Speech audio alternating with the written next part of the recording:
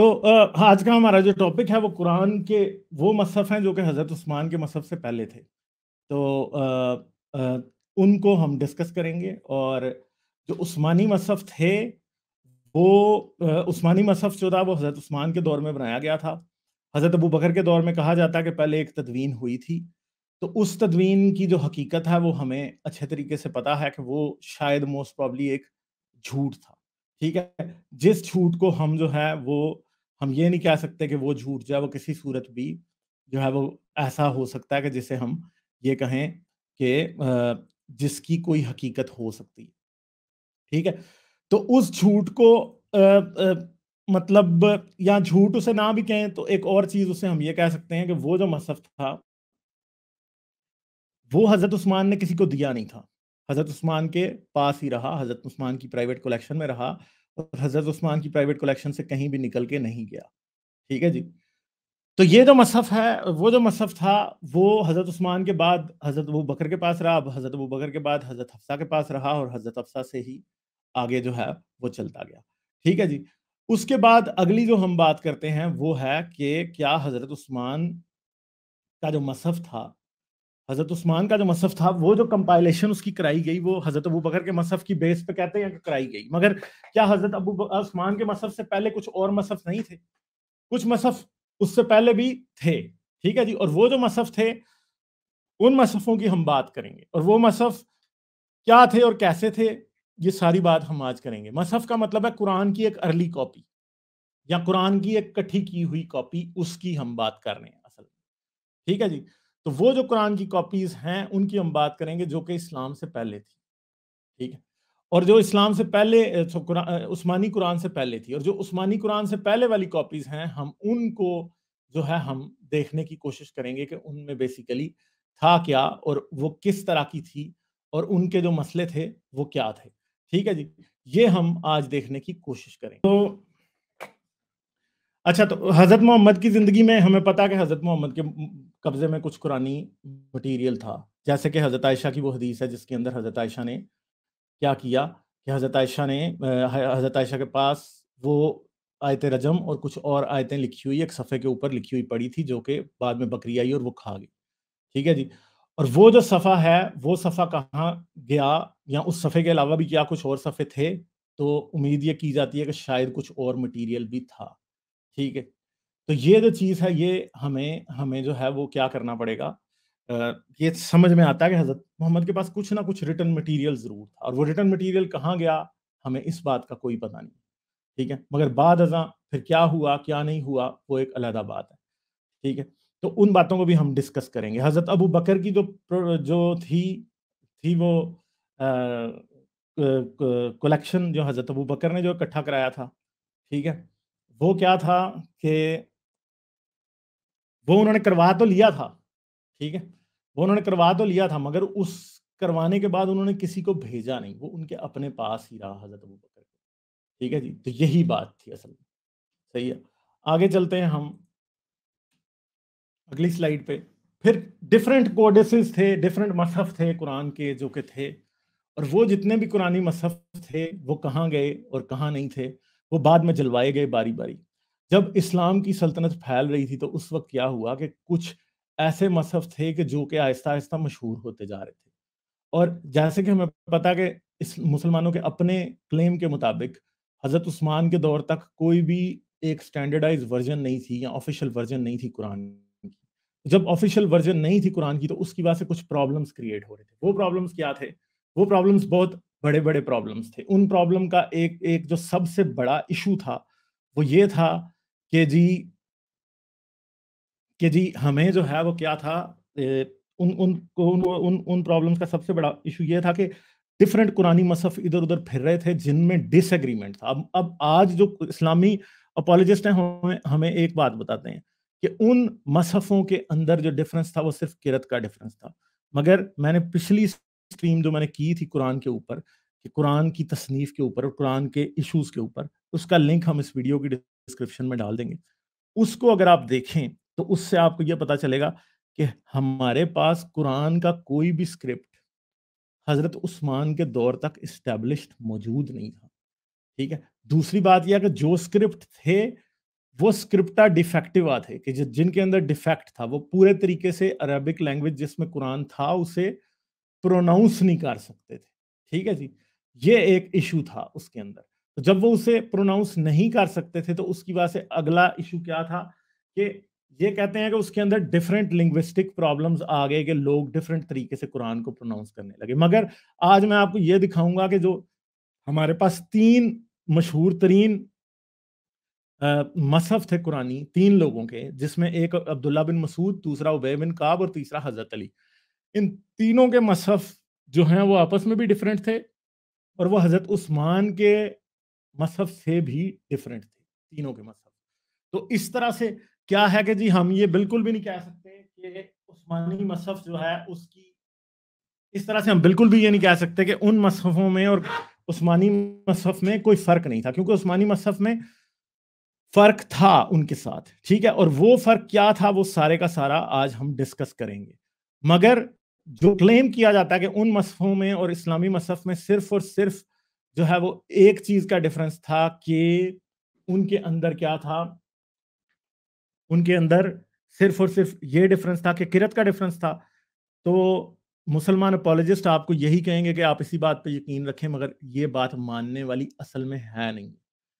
और अगर हमें मुसलमानों की कुछ ऐसी पूरा, बाद में तफसीर की किताबें, कुछ किताबुल मसाहफ इन्होंने लिखी, फिर अल अलसयूती ने लिखा, अल नदीम ने लिखा अपनी किताबों के अंदर उन मसफ़ों के बारे में, जो इन्फॉर्मेशन वो उन मसफ़ों के बारे में देते हैं, वो भी ऐसी हैं कि जिनसे ये पता चलता है कि यार, गड़बड़ दाल में कुछ और भी काला था, ये सिर्फ़ कह रहे हैं कि दाल में चार दाने काले थे, ये बात नहीं ठीक है जी? तो तो ये और अब वो मज़हब ज़्यादा मशहूर हो रहे थे, जो कि कंप्लीट थे किसी हद तक, जिनमें ज़्यादातर सूरतें पाई जाती थी, जो कि हज़रत मोहम्मद पे उतरी थी, या फिर हम ये भी नहीं कह सकते कि उनको complete as compare to the उस्मानी मसहफ कहा जा सकता है या नहीं, या वो सारे के सारे मसहफ अपने तौर पे ये कहते होंगे कि ये कंप्लीट है तो वो इनकम्प्लीट है, और ये भी एक लॉजिकल बात है कि वो ये समझते होंगे कि एक मसहफ दूसरे से अच्छा और जारी बात है कि अगर एक मसहफ में इतनी सूरतें और दूसरे में फ़र्ज़ करें एक मसहब में 105 सूरतें और दूसरे में 103 सूरतें और वो कहेगा कि नहीं नहीं हमारा कुरान कंप्लीट है फलां का कंप्लीट नहीं है। तो लॉजिकली एक बात समझ आ जाती है कि यहाँ पे ये बहुत बड़ा एक झगड़ा था कि क्या उस्मानी मसहफ कंप्लीट है?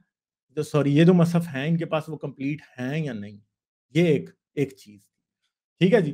तो अच्छा आ, फिर हमें ये पड़ता पता चलता है कि ये दमिश्क का एक अपना था, बसरा का एक अपना मसहफ था, मिस्र में अपने मसहफ चल रहे थे, ठीक है, कूफे का एक अपना मसहफ था। तो यहाँ पे कूफन, कूफे के जो लोग थे वो इब्ने मसूद के मसहफ को जो थे वो बड़ा ज़बरदस्त समझ समझ रहे थे। बसरा वाले जो थे अबू मूसा अशरी के जो है वो मसहफ को सही समझ रहे थे और सीरिया वाले जो थे वो बेबिन काब के मसहफ को सही समझ रहे थे, यानी कुरान की कॉपी को, ठीक है। और ये तीनों इन लोगों ने खुद तैयार की थी, इनकी पर्सनल कॉपीज ठीक है? तो अब इन मसहफों को, यानी जैसे कि कूफे का एक अपना है, ठीक है? हम्स का एक अपना है दमिश का एक अपना है, बसरा का एक अपना है। अब चार तो मशहूर मशहूर सिटी थे जो कि अर्ली इस्लामिक एम्पायर के थे, जिनके अंदर डिफरेंट चार डिफरेंट कुरान फिर रहे थे। और उन चारों डिफरेंट कुरान का क्या स्टेटस था? ये हम आज इस बात को अच्छे तरीके से नहीं जानते। ठीक है? तो जो मेन चीज़ है, वो ये है कि हमें एक चीज़ नज़र आ रही थी कि डिफरेंस था। और वो डिफरेंस क्या था? वो डिफरेंस कैसा था? इसके ऊपर और क्वेश्चन एंड आंसर होते हैं। मगर एक बात याद रखिएगा कि जो हमें दिख रहा है, वो आमतौर पे उसे सब लोग यही समझते हैं कि वो टिप ऑफ़ द आइसबर्ग है। वो टिप ऑफ़ द आइसबर्ग से आगे की बात नहीं है। ठीक है जी? टिप ऑफ़ द आइसबर्ग का क्या मतलब है कि जी, हमें सिर्फ़ थोड़ा बहुत पता है कि उनके अंदर क्या था। ठीक है? उनके अंदर क्या था। मगर मगर बाद अजा बाद अजा क्या हुआ कि ये लोग उन डिफरेंसेस को जो कि शायद उन कोडिसेस में एग्जिस्ट करते थे, उनके ऊपर क्या करते हैं? पर्दा डालने लगे, ठीक है? तो उस्मानी कोडस को, उस्मानी मसहफ को बनाने की ज़रूरत क्या आई थी? ठीक है? हाँ और मुझे याद आ गया हम जी आपकी डिफरेंस पहले डिफरेंट डीपी थी, अब डिफरेंट है, ठीक है? सॉरी याद नहीं था। थैंक यू अच्छा अपेरेंटली यहाँ पे बहुत सारी डाइवर्जेंसीज थी डिफरेंट कलेक्शंस के दरमियान और जिनको कोडेसिस में क्या किया गया था वो रख लिया गया था और ये कोडस कितनी जगहों पे थे या कितने मसहफ थे? मदीना का एक अपना मसहफ था मक्का का अपना था बसरा कूफा दमिश्क और इसके अलावा और भी बहुत से शहर थे जिनके अपने अपने मसहफ थे और जो रिसर्चर्स हैं वो ये भी ख्याल करते हैं कि शायद ये एक दूसरे के मसहफ़ों को बुरा भी कहते थे और अपने को अच्छा कहते थे इसकी पोलिटिकल रीजंस भी हो सकती हैं। पॉलिटिकल रीजंस की बात से कहते थे। उस्मान जो है वो और उस्मान की मस, शायद इनमें बहुत ज़्यादा डिफरेंसेस ना हो और सिर्फ़ उस्मान सियासी वजह की वजह से कि हाँ जी मेरा जो है वो ऊपर आएगा। उस वजह से ही उसने क्या कर लिया हो कि इनको अपने पास रख लिया हो। ठीक है ये भी बात हो सकती है। तो ये भी है। मगर एक और बात है कि जितने भी कुरान थे और जितने भी सॉरी जितने भी किरत करने वाले लोग थे उन्होंने उस्मान के मसहफ का बड़े बुरे तरीके से उसकी मुखालफत की, वो उसके खिलाफ थे। वो कहते थे कि नहीं, हम नहीं मानते इसको। और इस बात का एविडेंस है कि कईयों ने तो टोटली तौर पे इनकार कर दिया था कि हम उस्मान का जो स्टैंडर्डाइज कुरान है, जो उस्मानी मसहफ है, उसे नहीं मानेंगे। ठीक है? और जो जो कूफे के लोग थे, वो तो हज़रत अब्दुल्ला बिन मसूद के कुरान को जो थे, वो क्या करते, उन्होंने रिफ्यूज कर दिया। उन्होंने कहा कि हमने मानना ही नहीं। ठीक है, जैसे कि जो इबादती फिरका था, उन्होंने तो हज़रत उस्मान के ऊपर ये इल्ज़ाम लगा दिया कि हज़रत उस्मान ने कुरान को बदला है, ठीक है? हज़रत उस्मान ने क्या किया? कुरान को बदला है, इस बात का इल्ज़ाम लगा दिया, उन्होंने हज़रत उस्मान के ऊपर इबादतियों में। मगर कूफा जो है, वो पहले ही एक सेंटर ऑफ़ एक्सीलेंस था कुरान की लर्निंग का, और इब्ने मसूद का जो कुरान था, उसकी एक बड़ी रिस्पेक्ट थी, और सबसे ज़्यादा जो रिस्पेक्टेड मसहफ था, वो इब्ने मसूद का ही था। मसहफ से मतलब एक बार फिर मैं दबा दूँ, बता दूँ कि ये वो कॉपीज हैं कुरान की जो कि शुरू में लोगों ने क्रिएट की ठीक है जी? हाँ। अच्छा हज़रत उस्मान से पहले के जो कोडेक्स थे, वो बड़े सारे कोडेक्स हमें मिलते हैं, ठीक है? और डिफरेंट लोग जो कि जो कि शुरू में इस्लामिक मटेरियल लिख रहे थे, या जो जो इस अरबी की लैंग्वेज को स्टडी करते हैं उन्होंने बहुत से कोडेसिस को मेंशन किया, बहुत से मसफ़ों को मेंशन किया। और कुछ इस तरह से डिफरेंट अर्ली इस्लामिक राइटिंग्स में, मिडल इस्लामिक राइटिंग्स में, अब्बासीद कैलिफेट के दौर की बातें, इवन के अल सयूती और नदीम जो कि बहुत देर से आए, उन्होंने भी बहुत बार जो है वो मसफ़ों की बात करते हैं। जैसे कि ऐसे लिखा होता है टेक्स्ट में कि कोडेक्स कोडेक्स ऑफ़ द साहबा, किसी साहबी का मसहफ फिर, यहाँ फिर एक पुराना मसहफ ठीक है? फिर यहाँ लिखा जाता है, फला फला मसहफ में यूँ लिखा है। ठीक है? या फिर एक पुराने पुराने लिखे हुए टेक्स्ट के अंदर फलाम बात आई है। या फिर बसरा का कोडेक्स मसहफ फिर अल हजाज बिन यूसुफ का मसहफ ठीक है? या फिर जो है अनस बिन मालिक के, मालिक बिन अनस के दादा का जो मसहफ था। ठीक है? इस तरह लिखा हुआ है किताब मुकनी में। ठीक है? फिर अबू हनीफा का मसहफ ये अबू हसीफा का जो मसहफ है, वो भी था। कोडस फिर हमाद बिन कान का मसहफ ठीक है? तो इस तरह के रेफरेंस शुरू की इस्लामी किताबों में, तफसीरों में भरे पड़े हैं और हर तरफ़ हमें ये फिरते टुरते नज़र आते हैं। और इन रेफरेंसेस को, ये रेफरेंस सारे वेल नोन थे, ठीक है? सारे ओल्ड कोडेसिस जो थे, ये रेफरेंसेस जो थे, वो वेल नोन थे और पता था कि ये एग्जिस्ट करते हैं और ये मसफ एग्जिस्ट करते हैं। अब इनमें से कुछ कोडेसिस ऐसे थे, जैसे इब्ने मसूद का कोडेक्स, ठीक है, मसफ, फिर उबे बिन काब का मसफ, जो कि कैननाइजेशन ऑफ़ कुरान, यानी हज़रत उस्मानी मसहफ के आने के बाद भी मौजूद थे लोगों के पास। और कुछ लोग ऐसे थे कि जिन्होंने आउटराइट इनकार कर दिया था कि वो इन मसहफ़ों को गिव अप नहीं करेंगे। फिर इब्ने शानुबुद बगदादी, ये एक किरत करने वाला या कारी था कुरान का, ठीक है? अब इसके, इसका एक वाक्य बड़ा मशहूर है, जिसके अंदर इसको पूरे शहर में फिराया गया था, ठीक है? और इसको कोड़े लगाए गए थे, क्योंकि इसने उस्मानी मसफ को निकालने को मानने से इनकार कर दिया, ठीक है? तो अब इसने क्या किया था? इसने कहा था, ये बगदादी जो था, स्कॉलर इब्ने शनाबुद, इसने कहा who was admitted to be an eminent Quranic authority, but who was forced to make public recantation of his use of readings from the old codices. इसके पास कुरानी मसफ पुराने थे जिनको और इसने नए को मानने से इनकार कर दिया था जिसकी वजह से इस बेचारे को पूरे शहर में जलील किया गया और इसके बाद इसे कोड़े भी लगाए गए। तो ये चीज़ जो है वो हुई। अच्छा मगर अब एक सोचने की बात है कि क्या क्या कुछ मसहफ बचे होंगे आज तक या नहीं? इस बात का भी सबूत हमें मिलता है और मैं आपको एक बात बता सकता हूँ कि हमेशा से एक चीज़ जो है वो, जो है वो सबसे बड़ी रुकावट रही है कुरान के ऊपर रिसर्च में, कि हमें पता चले कि कुरान का एग्जीजेसिस एग्जीजेसिस कैसे हुआ था, कुरान निकल के आया कैसे था सामने। इस बारे में बहुत सा इख्तलाफ मतलब हमें शवाहद मिल जाते हैं, हमें चीज़ें मिलती हैं, मगर मुसलमानों का क्या मसला है कि ये क्योंकि मुसलमानों के मुल्कों से मिलती हैं और जब आर्कियोलॉजिस्ट इन चीज़ों को ढूंढते हैं और इनको स्टडी करने की कोशिश करते हैं तो वेस्टर्न आर्कियोलॉजिस्ट को कभी भी इन चीज़ों तक एक्सेस नहीं दिया जाता जो कि कुरान के ऊपर कोई भी सवालिया निशान उठा सके। और इस्लामी स्कॉलर जो हैं वो कभी भी कुरान के ऊपर कोई सवालिया निशान उठाना नहीं चाहते। अब जैसे कि ये यहाँ पे एक एक जो है हमारे पास एक एक वाक्य है। मैंने बेसिकली जिस चीज़ का जो है ना जिस बुक का रेफरेंस दिया, जिस बुक से ये मटेरियल उठाया, उस बुक का नाम है जी द ओरिजिन ऑफ़ कुरान ये इब्ने वराक ने कुछ क्लासिकल ऐसे इकट्ठे किए हैं और इसमें आर्थर जेफरी का एक ऐसे है जिसको, जिसकी बेस के ऊपर जो है मैं बेसिकली ये सारी बातें आपको बता रहा हूँ। ठीक है? तो आर्थर जेफरी जो है वो एक बात लिखता है, अबू हयान की, के रेफरेंस से referring to a notorious textual variant उसने एक ऐसे टेक्सचुअल वेरिएंट की बात की थी अपनी किताब के अंदर expressively says that in his work, though it is perhaps the richest in uncanonical variants that we have, he doesn't mention those variants where there is too wide a divergence from the standard text of Usman. तो Abu Hayyan ने बहार बहार बहर का जो volume seven था, उसमें ये लिखा कि कुछ कोडेसेस या कुछ मसफ ऐसे भी हैं जो कि उस्मानी टेक्स्ट से बहुत ही ज़्यादा डिसएग्री करते हैं। ठीक है? मगर फिर एक वाक्य हुआ जो कि ट्वेंटी सेंचुरी का वाक्य है।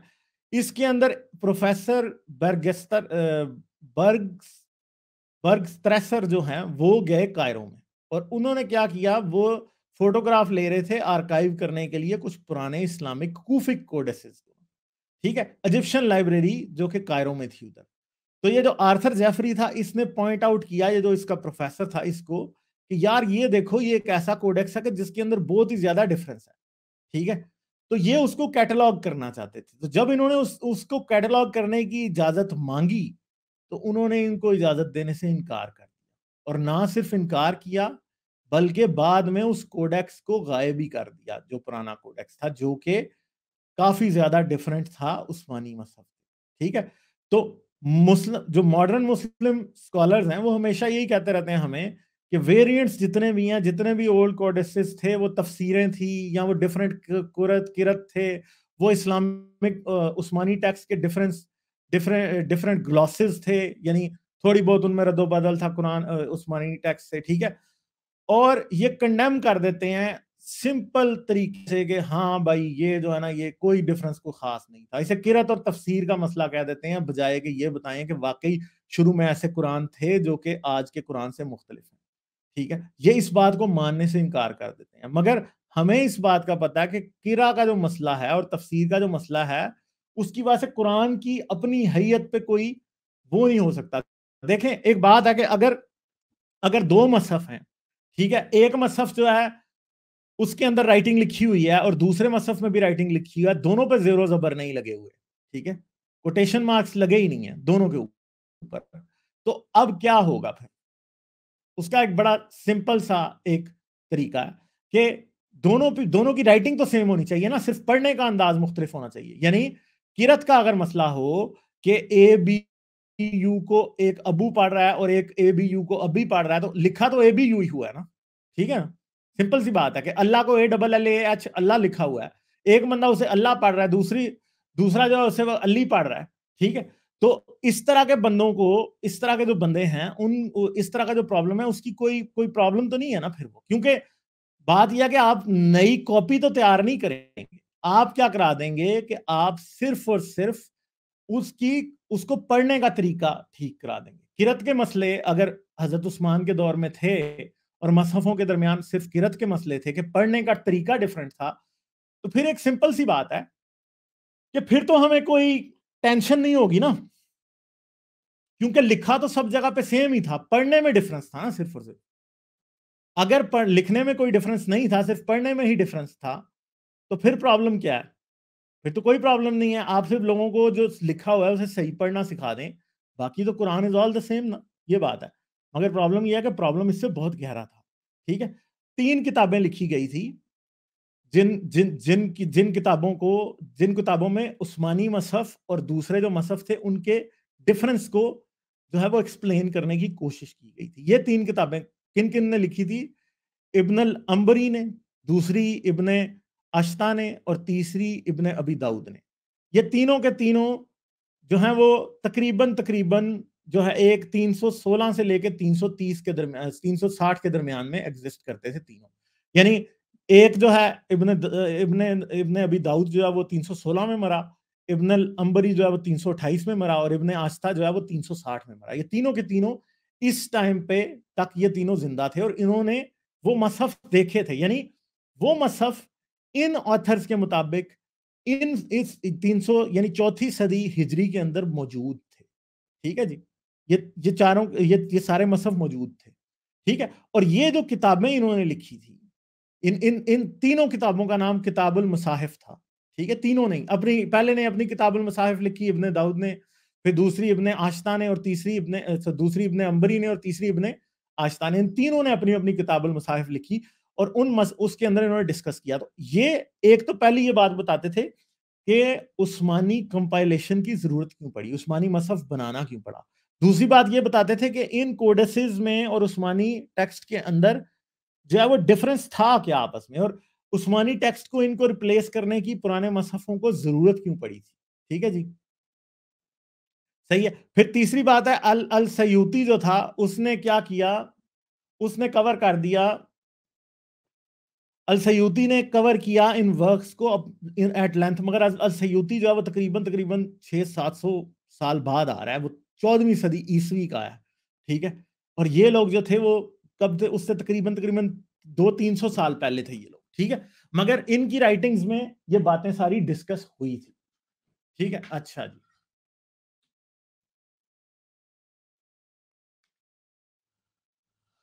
अच्छा फिर और भी कोडेसिस थे बहुत सारे जो कि अवेलेबल थे, जिनमें प्राइमरी कोडेसिस जो हैं वो हमें प्राइमरी सोर्सेज जो इस्लाम की हैं, उनमें मिल जाते हैं। जिन, जैसे कि हदीस और कुछ तफसीर की चीज़ें। फिर कुछ सेकेंडरी सोर्सेज हैं जो बाद में आते हैं, उनके अंदर भी बहुत सी चीज़ें जो है मिलती हैं। ठीक है? तो पहला जैसे सलीम का, हज़रत उमर का उबय बिन काब का, अब इबन मसूद का, अली का, अबू मूसा अशरी का, हज़रत हफ्सा का मसहफ़ जैद बिन साबित का मसहफ, हज़रत आयशा का भी ज़िक्र आता है कि उनके पास भी कुरानी मटीरियल था उम सलमा के पास कुरानी मटीरियल था, अब्दुल्ला बिन अमर के पास था, इबन अब्बास के पास कुरान का एक मसहफ था, इबन इबन जुबैर के पास था, उबैद बिन उमैर के पास था और अनस बिन मालिक के पास था। इसके अलावा सेकेंडरी सोर्सेज जो हैं, वो क्या बताती हैं? जो कि बाद में आए हैं बहुत लोग, अलामा बिन कैस के बारे में, जो कि ताबियों के पास थे। रबी और खत, खतूम के और ये बाकी सारे लोग अगर किसी ने देखना हो तो वह यहाँ पे पॉज करके खुद देख सकता है कि कौन कौन लोग थे जिनके पास और भी मसफ थे। यानी अगर इस पेज को सिर्फ़ देखा जाए तो हमें 30 से 35 मसफ यहाँ पे इस पेज के इस, इस स्लाइड के ऊपर लिखे हुए दिखाई दे रहे हैं जो कि कुरान की डिफरेंट कॉपीज थी प्राइमरी और सेकेंडरी सोर्सेज में मैंशन है। ठीक है? फिर हम जो पहला जो है मसहफ उसकी हम बात करते हैं। पहला मसहफ क्या है? इबन मसूद का मसहफ जो कि सबसे प्रोमिनेंट मसहफ था। वो मसहफ क्या था? ठीक है? उस वो मसहफ में क्या था? वो और, और पहले जरा इब्न, इब्न मसूद की बात कर लेते हैं फिर उसके मसहफ की तरफ़ आएँगे। ये हज़रत उमर से भी पहले इब्न मसूद इस्लाम लाया था।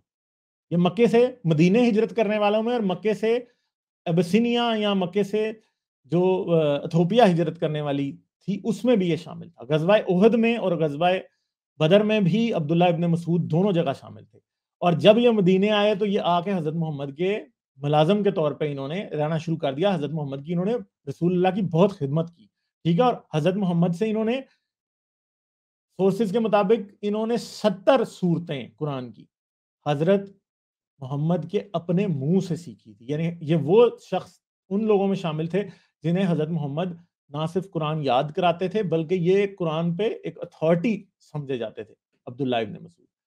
फिर बाद में क्या हुआ कि ये बहुत ही ज़्यादा और फिर बाद में खलीफा ने इनको कूफे भेजा और जब ये कूफे में गए तो इन्होंने इस्लामिक कुरानिक स्कॉलरशिप का एक पूरा स्कूल वहाँ पे डेवलप कर दिया और कूफा इस्लामी सल्तनत में वो पहला शहर था जिसे कुरान के ऊपर और हदीस के ऊपर इस्लामी, इस्लाम के ऊपर एक मरकजी हैसियत या एक सेंट्रल रोल जो था वो मदीने और मक्के से भी ज़्यादा कूफे का बन जाता था। बाद अजान जब ताबी वगैरह मर गए तो उसके बाद ताबी वगैरह का दौर आ गया, ठीक है? और अब्दुल्ला इबन मसूद और आगे हम उबैब बिन काब की भी बात करेंगे, ये उन चार लोगों में शामिल हैं जिनके बारे में हज़रत मोहम्मद ने ये कहा था कि इनसे कुरान सीखना, ठीक है? कुरान के बारे में अगर कोई भी सवाल करना है तो इनसे तो इबन मसूद का जो कोडेक्स है उसके अंदर था क्या क्या और वो कब बना था? कब बना था ये हमें नहीं पता, ठीक है? मगर हमें ये बात लगती है कि जो इनकी सोर्सेज के मुताबिक, हमें ये नहीं पता कि इसमें कितनी हकीकत है। इनकी सोर्सेज के मुताबिक, हज़रत अब्दुल्ला बिन मसूद ने हज़रत मोहम्मद की ज़िंदगी के अंदर ही अपना कुरान लिखना शुरू कर दिया ठीक है? कूफा में उनकी बहुत रिस्पेक्ट थी। हज़रत उस्मान ने उन्हें ऑर्डर किया कि जी, अपना कुरान भी आप जला दें जब हज़रत उस्मान का कुरान, कुरानी मसहफ सामने आया तो। अब्दुल्ला बिन मसूद ने अपना मसहफ देने से इनकार कर दिया और उन्होंने कहा कि ये जैद बिन साबित के बारे में कहा कि ये लौंडा मुझे बताएगा कि कुरान क्या है। उसने कहा कि जब ये जब ये लौंडा, जब मैं कुरान, जब मैंने कुरान याद करना और लिखना शुरू किया था, ये लौंडा अपने काफिर बाप के खसियों में था। यानी अपने ही वॉज़ क्या कहता है वो? Zaid bin Sabit should be given preference to his, since he had been a Muslim, while Zaid was still in the loins of an unbeliever. कहा कि अपने काफिर बाप की खसियों में था जब he was in the testicles of his unbeliever father जब मैं मुसलमान ठीक है? तो अब्दुल्ला बिन मसूद ने इस बात का इनकार कर दिया। कहा कि ये तो बच्चा तब पैदा ही नहीं हुआ था जब से मैं मुसलमान हूँ, ठीक है? तो अब्दुल्ला बिन मसूद ने इस बात का इनकार कर दिया, ठीक है? बहुत से कूफा के लोग जो थे, हज़रत उस्मान का मसफ आ भी गया था तो कूफा के लोग जो है, वो हज़रत अब्दुल्ला बिन मसूद के कोड के मसफ पे ही थे। और बाद अजा भी बहुत से लोग जो थे, वो इसी पे रहे और उन्होंने हज़रत अब हज़रत उस्मान के जो है ना, वो मसहफ का इनकार किया, ठीक है? तो और इनके मसहफ को जैसे कि मैंने बताया, वो शुरू में के शहरों से मुंसलिक हो गए थे मेट्रोपोलिस से मेट्रोपोलिटन सिटीज़ के डिफरेंट कोड से सामने आ गए थे, उनमें से एक जो कूफी का, कूफा का मसहफ था, जो कि सबसे पहला मसहफ समझा जाता है, कूफा में सबसे पहले इस्लामिक कुरानिक स्कॉलरशिप शुरू हुई थी। कूफा के लोग इनके मसहफ को ही रिस्पेक्ट करते थे और कूफा वाले जो थे इनका इनका जो मसहफ था, उसे सिंपली ये कहा जाता था कि कूफा का मसहफ जो है वो है। ठीक है जी? अब इब्ने मसूद के कोडेक्स के अंदर कहा जाता है कि कुछ सूरा नहीं थी। ठीक है? तो इब्ने मसूद का जो था मसफ उसके अंदर, पहली सूरा, यानी सूरा फातिहा नहीं थी, फिर सूरा 113 और 114 ये दोनों भी उसके अंदर नहीं थी। ठीक है? और हज़रत अब्दुल्ला बिन मसूद के मसफ में इनके ना होने की वजह यह बताई जाती है कि ये कुरान का मटेरियल नहीं है बल्कि ये दुआएँ हैं। और आज की जो मॉडल स्कॉलरशिप है ना वो उसके उस, उसके पास और भी बहुत सी रीजन हैं इस बात को मानने की कि अब अब्दुल्ला बिन मसूद का मसफ ये सही था कहने में कि ये लिटर लिटर्जिकल एडिशन हैं ये दुआएँ हैं। ये कुरान का हिस्सा नहीं है। और अब्दुल अब्दुल्ला बिन मसीद मसूद का जो कुरान था वो जो है वो लिटरेजिकल मटेरियल को या दुआओं वगैरह को साइड पे रखता था, वो कुरान को एक अलहदा तरीके से देखता था, ठीक है? फिर एक और जो अजीब चीज़ है इनके बारे में, वो क्या है कि जी, इनका जो ऑर्डर ऑफ़ सूराज था, जिस तरह आज हज़रत उस्मान का जो कोडेक्स कोडेक्स है या जो मसफ़ उस्मान जिसे आज हम क्लेम करते हैं कि ये है हमारे पास, इस मसफ में सबसे पहले सूरह बकरा इसलिए आती है कि वो सबसे बड़ी है, उसके बाद उससे छोटी उससे छोटी उससे छोटी, यानी असेंडिंग डिसेंडिंग ऑर्डर में कुरान की जो है वो कंपाइलेशन की गई है। मगर यहाँ नहीं था। इसका एक डिफरेंट जो था वो था। आ, आ, इसकी कंपाइलेशन डिफरेंट थी। आयतों सूरतों का जो एक सीक्वेंस था वो डिफरेंट था। और वो सूरतों का सीक्वेंस जो डिफरेंट था वो कैसा था? वो ऐसा था सबसे पहले सूरह दो आती थी फिर चार आती थी तीन फिर उसके बाद आती थी ठीक है? सूरह बकरा इसमें भी सबसे पहले आती थी। फिर छह फिर पाँच और आप देखेंगे सबसे आखिर पे 112 आ रही है ठीक है? और आपको दरमियान में आपको लग रहा है कि काफ़ी सारा जो है वो मिलता भी है, मगर कुरान से, आज के कुरान से जो है इसका सीक्वेंस नहीं मिलता। ठीक है जी? तो फिर इबन नदीम ने अपनी किताबल क्या उसका नाम है? यार किताब का मेरे से नाम फहरिस्त में फहरिस्त में क्या लिखता है? फहरिस्त में इबन नदीम ने ये बताया है कि ये सीक्वेंस था सूरतों का इसके अंदर और कुछ सूरतें जो थी वो मिसिंग भी थी। ठीक है जी? और फिर अल, इतकान जो अलसियूती की उसके अंदर क्या है? उसके अंदर ये सीक्वेंस लिखा हुआ है ठीक है? देखें सूरा नंबर चौरानवे एंड पे आ गई है उसके अंदर ठीक है? तो इसके अंदर भी ये चीज़ें थी। तो दो डिफरेंट स्कॉलर्स इस्लामी एक अलसयूती और असयूती जो है वो दूसरे पुरानों की जो है ना वो उसके ऊपर बताता है अथॉरिटी के ऊपर। जैसे कि यहाँ पे ये बता रहा है जाबिर बिन अब्दुल अब्दुल हमीद जिस, जो मरा था एक सौ अठासी हिजरी के अंदर, ये उसकी रवायत के ऊपर ये बताता है कि सूरतों का सीक्वेंस ये था, जो है इब्ने मसूद के मसफ ठीक है? और कुछ और चीज़ें भी थी जो इबन मसूद के मसफ में थी। ठीक है? कुछ अपोलॉजिस्ट जो है वो क्या कहते हैं? कुछ और बातें जो उसके बारे में हम करते हैं। अपोलॉजिस्ट क्या कहते हैं कि जो सूरें, सूरतें इब्ने मसूद के मसफ में नहीं थी, वो बेसिकली कातब था जो लिखना भूल गया था। ठीक है, ये उस पर डालते हैं, ठीक है। बहुत से अपोलॉजिस्ट हैं जो ये कहते हैं कि ये जो कोडेसिस थे, इनमें सिर्फ़ और सिर्फ़ अरेंजमेंट का ही डिफरेंस था कि एक जो सूरा जो है वो उस्मानी मसफ में पहले आती है, वो किसी और जगह आ रही थी, फिर दूसरी वाली किसी और जगह आ रही थी, यानी सीक्वेंस का डिफरेंस था, ठीक है। और कुछ लोग कुछ लोग फिर ऐसे हैं जो कि इतने ज़्यादा मंतकी तौर पर बेईमानी करते हैं, इतनी इतनी इंटेलेक्चुअल डिसऑनेस्टी दिखाते हैं कि वो ये क्या ये देते हैं कि इबन मसूद का मसफ सिर्फ़ और सिर्फ़ क्या था, एक रीडिंग का डिफरेंस था। ठीक है जी? और इसके बाद, इससे अगली जो बात है, वो क्या है? In the view of great importance of the readings of Ibn Masud and Ubay all readings from them that survive are included in the list even where they do not depend on different consonantal text from that of Uthman ठीक है? तो यहाँ पर एक बात कही जाती है कि हाँ जी, ये सिर्फ़ वही सूरतें बताते हैं हमेशा के इब्न मसूद में यूँ थी यूँ थी यूँ थी, और वही टेक्स्ट हमें यानी एक बंदा जो कि इब्न मसूद के कोडेक्स के ऊपर या मसफ के ऊपर कमेंट्री कर रहा है तो हमेशा सिर्फ़ वो वही चीज़ अपनी राइटिंग में लिखता है जो कि उस्मानी मसफ में आज मौजूद है। इन्होंने कोई ऐसी चीज़ें नहीं बताई होती कि जो कि उस्मानी मसफ में मौजूद नहीं ठीक है? तो हमेशा यानी ऐसी बातें रिकॉर्ड की जाती हैं जहाँ पे इनके मसफ उस्मानी मसफ को सपोर्ट करते थे। जहाँ पे डिसएग्रीमेंट था, वो इस्लामी जो स्कॉलर्स थे, हमें ऐसे लगता है कि उनमें ये रवायत ही नहीं थी कि वो डिफरेंस को क्या करें? वो डिफरेंस का भी डिस्कशन करें। वो नहीं करते थे। ठीक है? तो ये एक जो इशू है ना, ये बहुत बड़ा इशू है। ठीक है? फिर अब उबे बिन काब की बात आती है। हज़रत उबे बिन काब की जो डेथ है, वो तकरीबन उनतीस हिजरी में या चौंतीस हिजरी में बताई जाती है। ठीक है? यानी यानी अगर हम ये देखें तो ये हज़रत मोहम्मद की डेथ से तकरीबन तकरीबन हमारे पास तकरीबन तकरीबन पंद्रह से बीस साल बाद की बात है। उबे बिन काब जो थे, ये एक अंसारी थे और जब रसूल मदीना आए तो ये उनके सेक्रेटरी बन गए, यानी उनके सेक्रेटरी बन गए और उनके लिए काम किया जाते थे। ये असल में यहूदी थे पहले, ठीक है?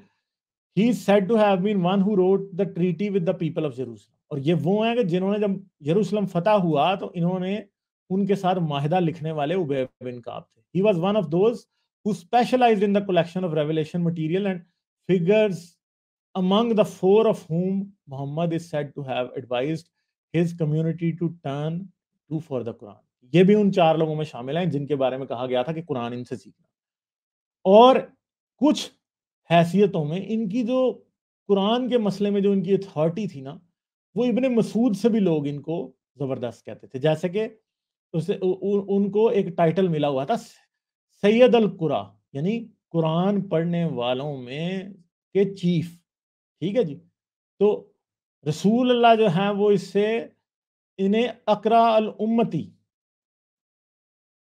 कि जिन्होंने अकरा अल उम्मती का मतलब क्या है कि जिन्होंने जिन्होंने मुसलमानों को कुरान की तलावत करना सिखाई या किरत करना सिखाई, उसका खिताब रसूल अल्लाह ने दिया हुआ और अल्लाह ने इनको हुक्म दिया अल्लाह ने हुक्म दिया था कि उबे की किरत को सुनो। जिसका मतलब है कि उबे जो था, उसके पास बहुत सारा मटेरियल था कुरान के बारे में। और कुरान की ऐसी आयतें भी थी जो कि शरीयत से ताल्लुक रखती ठीक है? जो कि रसूल ने वक्फे वक्फे से हज़रत अब्दुल्ला बिन मसूद को बताई थी। तो हज़रत सॉरी उबे बिन काब को बताई थी। तो अब उबे बिन काब ने क्या कहा, इनके बारे में क्या है कि हमें यह नहीं पता कि इन्होंने अपना मसफ़ कंपाइल कब करना शुरू किया, मगर एक बात का पता कि हज़रत उस्मान के मसफ़ से पहले मौजूद था, ठीक है? इनका मसफ़ जो है वो सीरिया में बहुत मशहूर था, दमिश्क, और इनके मसफ़ कोई बाद में जो है वो मसफ़ दमिश्क का या कोडेक्स ऑफ़ डोमेस्कस का नाम दिया गया। और ये कहा जाता है कि ये हज़रत मोहम्मद की ये ये, कूफा के लोग जो थे वो इनके पास आए थे, वो एक कुरान लिख के लाए थे और उन्होंने आके क्या किया था? उबय बिन काब को वो कुरान दिखाया था और हज़रत उबय बिन काब ने क्या किया था? वो कुरान उनको अप्रूव करके दिया था कि ये सही है या नहीं, ठीक है? अब ख्याल किया जाता है कि इन्होंने उसके अंदर कोई गलत चीज़ें कटवा दी होंगी, सही चीज़ें डलवा दी होंगी, यानी उसे करेक्ट करके इन्होंने दिया ठीक है? तो इसलिए कहा जाता है कि जो जो सीरिया वाला या डोमेस्कस वाला जो कुरान था, कुरानी मसहफ, वो बेसिकली उबय बिन काब का मसहफ है। ठीक और he seems to had contributed to canonical text text for Uthman in Medina और इन्होंने फिर फिर कुछ स्टोरीज ऐसी भी हैं जिनके अंदर ये भी लिखा जाता है कि जब हज़रत उस्मान ने कुरान की तदवीन कराई तो उबय बिन काब भी उन लोगों में शामिल थे जो कि इनकी तदवीन कुरान की तदवीन करने वाले थे। मगर मसला यह है कि जो तदवीन कुरान की स्टोरी हज़रत उस्मान से रिलेटेड है। वो इतनी कन्फ्लिक्टिंग है कि कई जगहों पे जैद बिन साबित को ही माइनस कर दिया जाता है, अली को डाल दिया जाता है उबे बिन काब को डाल दिया जाता है, अब्दुल्ला बिन मसूद को डाल दिया जाता है इबन अब्बास को डाल दिया जाता है। ऐसी बहुत सी बातें हैं जो कर दी जाती हैं, इसलिए हमें कोई पता नहीं है। कन्फ्यूज़न बहुत सारी ठीक है? और ये भी कहा जाता है कि जब हज़रत उस्मानी हज़रत उस्मान ने मसहफ अपना तैयार कराया तो उन्होंने क्या किया? हज़रत अब्दुल्ला उबे बिन काब के मसहफ को भी क्या करवा दिया? कटवा ठीक है जी? हाँ।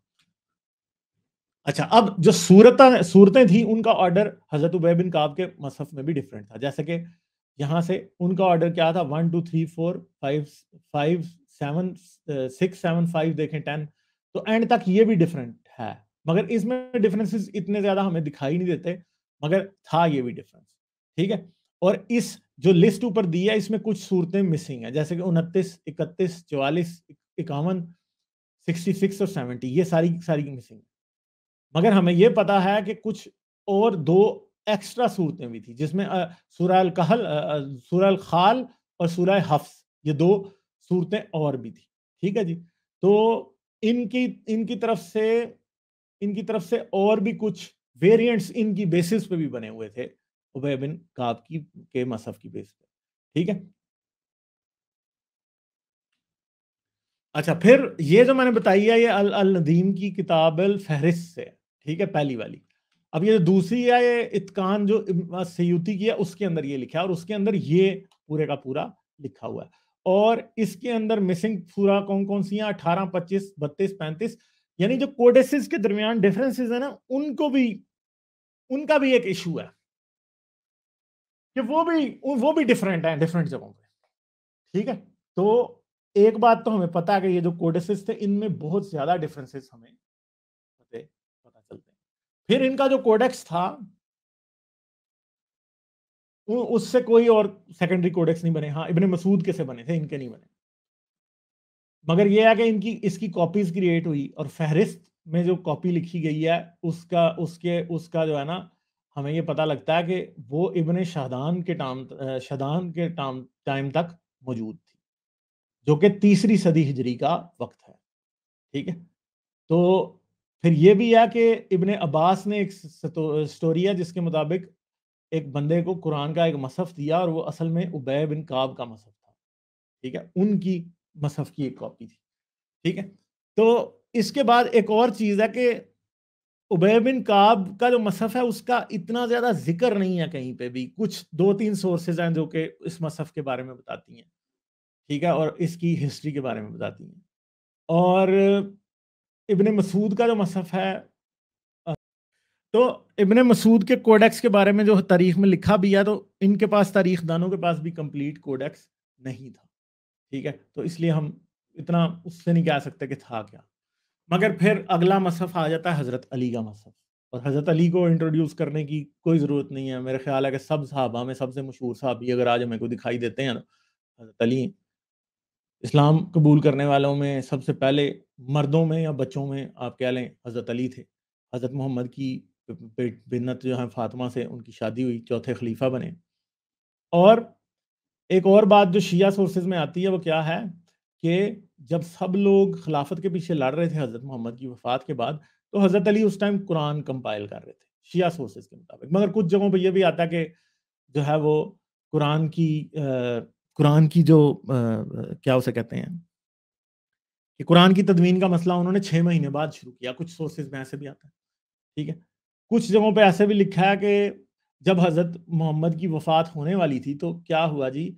हज़रत मोहम्मद ने हज़रत अली को बुलाया और उन्हें उन्हें कुछ मटेरियल दिया जो कि उन्होंने अपने एक घर में छुपा रखा था कि ये लो पकड़ो इसको और जब मैं मेरी वफ़ात हो जाएगी तो उसके बाद इसे एडिट करके तुम्हें कुरान बना और हज़रत अली ने ऐसा ही किया, मगर ये कुछ सेकेंडरी सोर्सेज हैं, इनको हम इतना ज़्यादा रिस्पेक्ट नहीं देंगे, ठीक है? तो एक स्टैंडर्ड स्टोरी यह है कि हज़रत अली का जो कुरान था, उसकी बातें ऐसी थी कि उसके अंदर आयतें जिस तरह से वही हुई थी, यानी पहली आयत जैसे वही हुई, दूसरी हुई, तीसरी हुई, उसके मुताबिक था, यानी वही के मुताबिक था। हज़रत अली जो थे वो सूरा को का जो जो एक रस्म था ना, वो फॉलो नहीं कर रहे थे, वो क्या कर रहे थे? वो सीधे सीधे जैसे कुरान उतरता जा रहा था तो वो उस तरह करते जा रहे थे। कुछ लोग जो है, इस बात के ऊपर हज़रत अली की जो है वो कंपाइलेशन को बड़ा रिस्पेक्ट भी देते हैं। मगर एक बात है कि दो, जो हिस्टोरियंस हैं, हज़रत अली की, के कुरानी मसहफ के अंदर सूरतों की अरेंजमेंट में उनमें ही डिफरेंस है। जैसे कि अली अकूबी जो है वो कुछ और दे रहा है, बाकी कोई और दे रहे हैं, ठीक है? तो ये एक अरेंजमेंट है जहाँ जहाँ पे लिखी हुई है दो बारह उन्नीस, इस तरह करके, ये सारी की सारी जो है वो हज़रत उस्मान हज़रत अली की जो है वो क्या है, वो मसहफ की अरेंजमेंट हमें दी गई ठीक है? तो ये ये थी। अच्छा तो हज़रत अली के मसहफ में सिर्फ़ 109 सूर सूरत सूरत सूरतें थी, ठीक है? मिसिंग जो थी उसमें सूरह फातिहा, सूरा नंबर तेरह, चौंतीस छियासठ और छियानवे। मगर एक बात है कि हम इस बात को कोई रिस्पेक्ट नहीं दे सकते, क्योंकि हमें पता नहीं है कि हज़रत अली का मसहफ जो है वो रहा भी था या नहीं। और दूसरी बात है कि जब हज़रत उस्मान ने कुरान की तसनीफ कराई थी तो कहते हैं कि हज़रत अली ने उन्हें फुली सपोर्ट किया था। और इवन के कुछ जगहों पर यह भी लिखा है कि हज़रत अली ने अपना मसहफ जो है वो हज़रत उस्मान को दे दिया था और वो जला दिया गया था। ठीक है? मगर ऐसा भी बाद में कुछ और किताबों में लिखा है कि हज़रत आले आले रसूल के पास जो हैं, एक वक्त में जो हज़रत अली का बनाया हुआ मसहफ था, बाद में वो मौजूद भी पाया गया था और वो बहुत बाद में जो है वो ख़त्म हुआ था या बहुत बाद में बर्बाद हुआ था, उससे पहले वो मौजूद ही था, ठीक है? तो एक और बात है कि इब्ने मसूद का जो मसहफ है ना, कूफा वाला शिया जो है वो उसको रिस्पेक्ट देते हैं ज़्यादा। तो एक बात हमें समझ आती है कि हज़रत अली का अगर कोई कोडेक्स रहा भी होगा ना तो वो बहुत पहले ही ख़त्म हो गया होगा। क्योंकि वरना फिर शिया लोग जो हैं वो हज़रत अली के मसहफ के ऊपर ही जाते ठीक है जी? तो ये बात यहाँ पे मैंने आपको बता दी। तो हज़रत अली के मसहफ के बारे में क्या मेन बातें थी? कि हज़रत अली का जो आ, मेरे ख्याल है कि यहाँ पे मैंने ये बातें भी मैं सारी ऑलरेडी बता चुका हाँ। मगर एक बात जो है ना, वो बड़ी अजीब बात जो है, वो हमेशा से रहती है।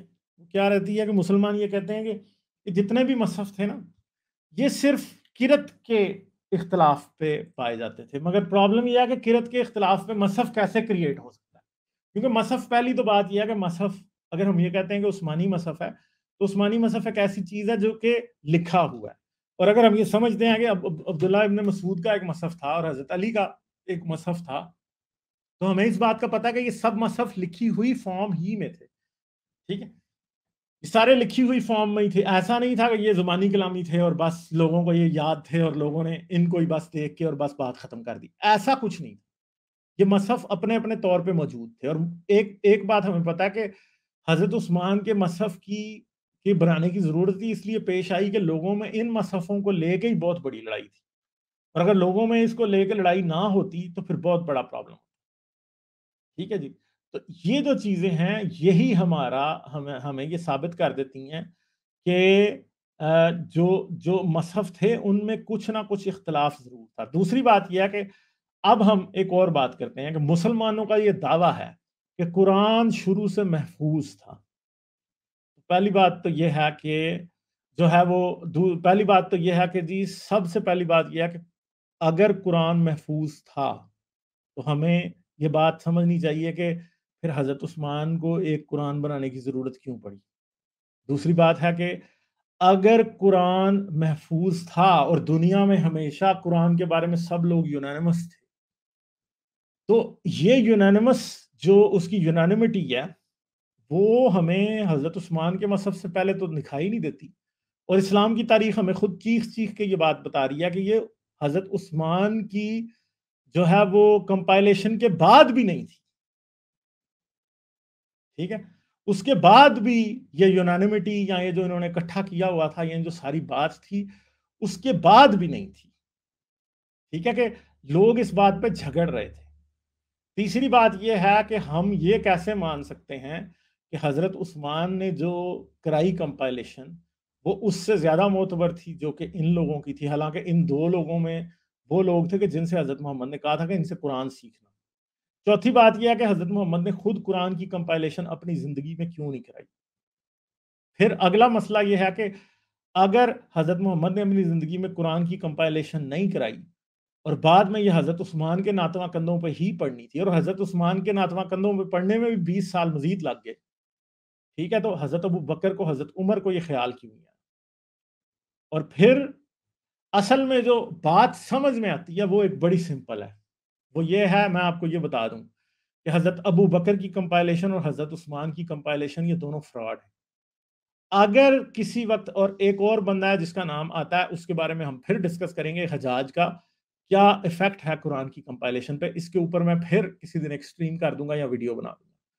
क्योंकि हमें यह पता है कि हजाज ने भी कुरान को जब कंपाइल कराया पहली कंपाइलेशन एक हुई अबू बकर की, जिसमें कोई कुरान जलाए नहीं गए कोई कुरानों को उठा के बाहर नहीं फेंका गया। उस्मान ने जब कंपाइलेशन कराई, उस्मान ने बहुत से कुरान जलवा दिए। जब उसने कुरान जलवाए तो क्या हुआ कि अब एक नया कुरान हमारे सामने आया, मगर उसके बावजूद भी बहुत से कुरान बचे हुए थे। फिर उससे अगली एक स्टोरी मिलती है, वो है हजाज बिन यूसुफ की स्टोरी कि हजाज बिन यूसुफ ने कुरान लिखवाया और कुरान में से बहुत सी चीज़ें निकलवा दी।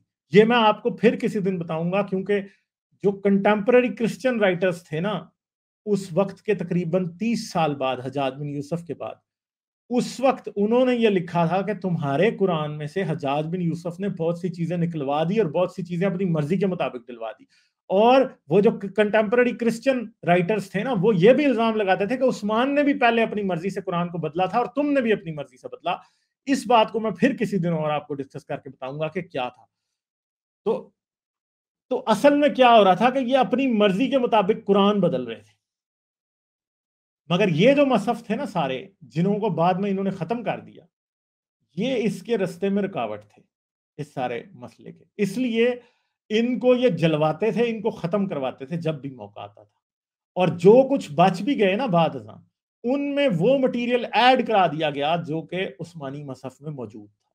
जैसे कि अगर हम तोपे कापी म्यूज़ियम वाले मसफ को देखें तो उसके अंदर हमें यह पता लगता है कि उसमें बाद बहुत सा मटीरियल ऐड किया गया ठीक है, और आज तक टर्की वाले उसकी कभी भी कार्बन डेटिंग इसलिए नहीं होने देते क्योंकि उनको पता है कि अगर कराया गया तो एक सफ़ा निकलेगा, एक सफ़ा निकलेगा वन थाउज़ेंड एडी का तो एक सफ़ा निकलेगा एटीन हंड्रेड एडी ठीक है तो प्रॉब्लम ये है कि फिर कैसे उसको आपस में रिकनसाइल कराया जाएगा। तो आज जितने भी कुरानी मसफ पाए जाते हैं, बड़ा मुश्किल है कि वो सारे के सारे इंटायरली अपनी ओरिजिनल पोजीशन में मौजूद हों। ये बहुत बड़ा प्रॉब्लम है, ठीक है? ये बहुत बड़ा प्रॉब्लम है। तो अगली बात ये है कि अब इन मसफ़ों को, ये जो मसफ़ थे, ये बेसिकली ज़ाहिर क्या करते हैं? तो पहली बात तो मैं आपको बता दूँ कि असल में जो कुरान था पहली सदी में और दूसरी सदी में, अब्बासियों के दौर तक और अब्बासियों के दौर के भी सिग्निफिकेंट पोर्शन के अंदर, और इसके बाद भी असल कुरान जो था, वो इन मसहफ़ों के अंदर ही मौजूद था। अब्दुल्ला बिन मसूद का मसहफ बहुत इंपॉर्टेंट है उबे बिन काब का मसहफ बहुत इंपॉर्टेंट है। ठीक है? अब्दुल्ला बिन मसूद का मसहफ शायद सबसे इंपॉर्टेंट है। उसके बाद उबे बिन काब के मसहफ की बात आती है, फिर बसरा के मसहफ की फिर बात आती है, और फिर कायरो तक ये बातें जाती हैं। ठीक है? कूफा का मसहफ सबसे इंपॉर्टेंट है दमिश का मसहफ उसके बाद आता है डोमेस्कस वाला। कूफा पहला डोमेस्कस वाला बाद, बसरा तीसरा, और फिर मदीना, मक्का वगैरह, इधर के मसहफ भी आप कह सकते हैं। मगर हो सकता है हज़रत अली का मसहफ भी एक बहुत लंबे अरसे तक सर्वाइव किया हो, हमें नहीं पता, मदीना का वही हो शायद, मगर हमें इस बारे में पता नहीं है कि असल में खाता था क्या। मगर मेन प्रॉब्लम जो हमें एक पता है, वो क्या है? वो ये है कि यहाँ पे दाल में बहुत कुछ काला है। कितना काला है? कई बार तो ऐसे लगता है कि पूरी दाल ही काली है। हमें बिल्कुल भी पता नहीं है कि असल में कुरान कैसे कंपाइल हुआ मगर आई थिंक के उस्मानी मसफ़ के बजाय या फिर ये जो ट्रेडिशनल एक उस्मानी मसफ़ का नैरेटिव है, ये जो पुराने मसफ़ थे वो ज़्यादा रिस्पेक्टेबल और ज़्यादा आई थिंक के ओरिजिनल के करीब थे। और शायद वही ओरिजिनल थे जिनको बाद में डिस्कार्ड करके या जिनको लेके इकट्ठा करके और उनमें से उस्मानी मसफ़ निकाल दिया गया और उनको जला दिया गया। और उस्मान ने क्या डलवाया, हजाज ने क्या डलवाया, हमें नहीं पता। और एक बात तो हमें पता कि चौथी सदी हिजरी के अंदर भी ये मसहफ सारे मौजूद थे। जो पहले पहले हिस्टोरियंस थे जो अब्बासियों के दौर में लिख रहे थे किताबुल मसाहिफ उन सबको के पास ये मसहफ थे। हाँ बाद वाले जो थे सयूती और अल नदीम उनके पास ये मसहफ नहीं थे। मगर अल, अल, अल अम्बरी और इब्न दाऊद इन सब के पास ये मसहफ थे उन्होंने देखे थे। मगर एक बात है कि उन्होंने भी इनके बारे में लिखने से काफ़ी सारा इज्तनाब किया उन्होंने पूरी बातें इनके बारे में नहीं लाइक शेयर और सब्सक्राइब करना मत भूलें। इसके साथ साथ आप मेरे चैनल को पेट्रियन पर सपोर्ट कर सकते हैं। पेट्रियन का लिंक वीडियो की डिस्क्रिप्शन में है।